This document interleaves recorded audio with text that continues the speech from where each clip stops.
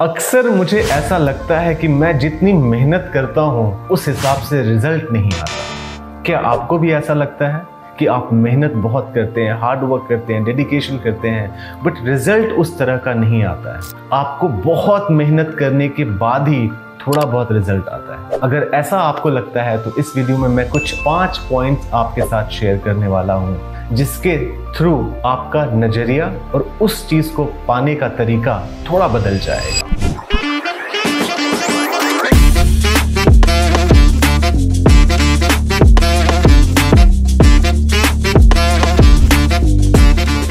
राजा हुआ करते थे और राजा के एक फ्रेंड थे। दोनों में बहुत अच्छी दोस्ती थी, दोनों में बहुत गहरी मित्रता थी। लेकिन उस दोस्त की एक हैबिट थी, वो हमेशा ये कहता था whatever happens for the good जो होता है, अच्छे के लिए होता है। एक बार राजा की उंगली कट गई और जैसे ही उंगली कटी, उस दोस्त ने कहा, जो होता है, अच्छे के लिए होता है। ये सुन, राजा को बहुत गुस्सा आया और वो इतने गुस्से में था कि उसने अपने दोस्त को ही जेल में डाल दिया। कुछ समय बीत गए, एक महीने के बाद राजा शिकार करने के लिए जंगल में निकला और जंगल में जाते जाते वो थोड़ी दूर चला गया और वहाँ पे कुछ ट्राइब थे जिन्होंने राजा को पकड़ लिया और ट्राइब राजा को बलि देना चाह रहे थे। लेकिन जब उन्होंने बलि के लिए तैयार कर लिया, तब देखा कि राजा की उंगली में एक कट का निशान है। बलि देने के लिए वो कट का निशान नहीं होना चाहिए। और ये देखकर उस ट्राइब ने राजा को वहाँ से जाने के लिए दिया। और राजा जब वापस अपने महल की तरफ़ लौट रहा था तो उसे बहुत आत्मग्लानी हो रही थी कि देखो, मैंने जिस दोस्त को जेल में डाला, उस दोस्त के कारण ही आज मैं यहाँ बच पाया वो महल में पहुँचा और अपने दोस्त को जेल से रिहा करवाया। और जैसे ही दोस्त को जेल से रिहा करवाया, दोस्त ने बोला, जो होता है, अच्छे के लिए होता है। राजा पूछा कि मैंने तुमको जेल में डाला, दो महीने जेल में रहे, इसमें अच्छा क्या है? फिर भी तुम बोल रहे हो, जो होता है अच्छे के लिए होता है। तो फिर उसके दोस्त ने बोला कि, राजा, अगर आपने मुझे जेल में नहीं डाला होता तो शायद शिकार के लिए मैं आपके साथ गया होता और वो ट्राइब मुझे पकड़ के मुझे बलि दे दिए होते। इसलिए जो होता है, अच्छे के लिए होता है। ये हमारे और आपके लिए भी सही है, क्योंकि जीवन में हर किसी को लगता है कि जीवन बहुत टफ है। और आप बहुत मेहनत करते हैं, लेकिन वो रिज़ल्ट आपको नहीं मिल पाता है जो आपको मिलना चाहिए। तीन बातों का आप ध्यान रखिए। पहला शिफ्ट योर परस्पेक्टिव अक्सर हम ये पूछते हैं why me why not somebody else भगवान, मुझसे आप इतना मेहनत क्यों करवाते हो? बाकी को तो आप बहुत जल्दी सफलता दे देते हैं। आपको ये सोचना चाहिए कि अगर आपका टेस्ट लिया जा रहा है तो इससे आपको बहुत कुछ सीखने को मिल रहा है। आप मज़बूत हो रहे हैं, ना सिर्फ़ इस प्रॉब्लम के लिए बट आने वाले जीवन की बहुत सारी जिम्मेदारियाँ, बहुत सारे चैलेंजेस के लिए। तो always shift your perspective and look at the positive side of the challenges this will help you prepare for a tough life ahead second always in such situation practise patience हम by nature बहुत उतावले होते हैं, बहुत reactive होते हैं। कोई भी सिचुएशन आती है हम उसको रिएक्ट करना चाहते हैं। ये क्रिकेट मैच नहीं है। जहाँ पे बॉल आई तो आपको मारना है। क्रिकेट मैच में भी बहुत सारे बॉल जो टफ होते हैं बाउंसर होते हैं या फिर यॉर्कर बॉल्स होते हैं उनको रोका जाता है डिफेंस किया जाता है लेट गो किया जाता है। सो so, लाइफ में जब भी आपके साथ टफ सिचुएशन आए जहाँ पे आपको लगे वाई मी प्रैक्टिस पेशेंस थोड़ा समय निकलने के बाद आपको भी ये एहसास होगा कि ये प्रॉब्लम उतनी बड़ी नहीं थी जितना बड़ा आपने बना के रखा। फॉर एग्ज़ाम्पल आप कॉलेज जा रहे हैं और कॉलेज जाते वक्त आपकी गाड़ी खराब होगी, आपकी बाइक खराब होगी, आपकी साइकिल खराब होगी, आपकी क्लास है। ना आप क्लास बहुत जल्दी पहुँचना चाहते हो। उस समय जब आप क्लास नहीं जा पा रहे होते हैं, आप बहुत लोगों को गालियाँ देते हैं। अगर बोल के नहीं देते हो तो मन में देते हैं। उससे कोई फ़ायदा नहीं होना है। सिर्फ़ निगेटिव बातें आपके दिमाग में आएगी और ये बहुत छोटी सी बात है, जो उस समय आपको बहुत बड़ी बात लग रही है।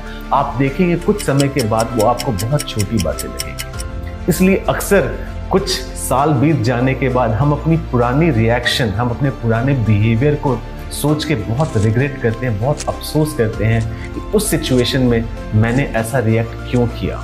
So always practise patience give time things are not as big as serious as you are making it to be if you are in this situation let go of control control एक सबको चाहिए। Manager अपने team को control करना चाहता है। आप अपने रिलेशन को कंट्रोल करना चाहते हैं।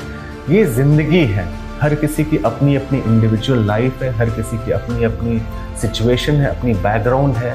और हर चीज़ एक समय होता है उस करने का। आप लाइफ को जितना पकड़ेंगे, जितना कंट्रोल करने की कोशिश करेंगे, वो उतना फिसलता जाएगा। ये हाथ में बालू की तरह आप मुट्ठी को जितना मज़बूत करेंगे, बालू सारा निकलता जाएगा। So let go of control वो कंट्रोल आपका इमोशन हो सकता है, आपका रिएक्टिव बिहेवियर हो सकता है, आपके आसपास के लोग हो सकते हैं। उनको आप इन्फ्लुएंस करने की कोशिश करिए। उनको ठंडे दिमाग से आप सोचिए कि what led to this behaviour आप इस सिचुएशन में जो है, वो क्यों है? उसका रीज़न क्या है? Trust me when you are trying to control things the things will go out of control in your life always be grateful life has given you so much हम देख पा रहे हैं, सुन पा रहे हैं स्मेल कर पा रहे हैं, खा पा रहे हैं, अपने हाथ हैं, अपने पैर हैं।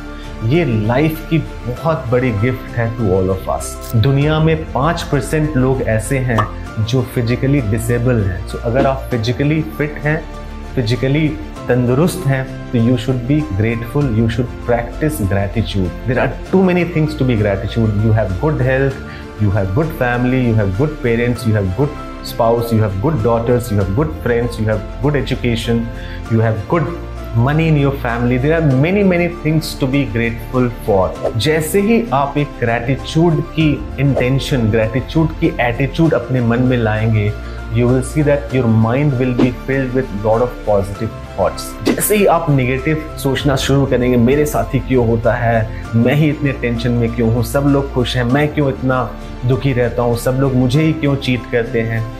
जैसे जैसे आप ये चीज़ों को सोचना शुरू करेंगे, वैसे वैसे आपके ऊपर प्रेशर आने लगेगा और आपको हर चीज़ वैसा ही लगने लगेगा। So practise gratitude it is it gives you lot of positive vibes and finally is trust the bigger picture एक पजल होती है, बचपन में हम लोग बहुत पजल सॉल्व करते थे। अगर आप एक एक पीस के पजल को देखेंगे तो वो सेट नहीं होता, आप फ्रस्ट्रेटेड हो जाते हैं और आपको लगता है कि बेकार है, नहीं करना चाहिए।